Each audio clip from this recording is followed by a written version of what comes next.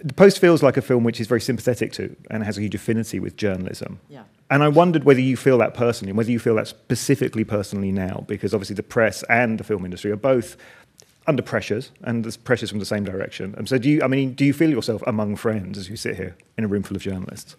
Well,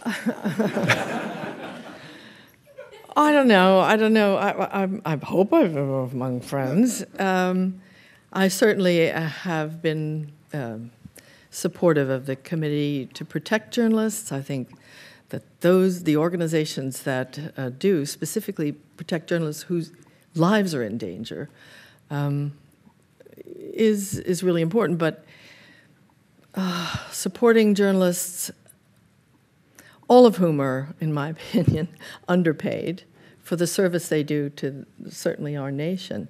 Um, yeah, we all have to support them and to call out the attempts by powerful interests to control their work and to delegitimize the institutions that give them work and that support them. So, yeah, I, I feel that more than ever right now.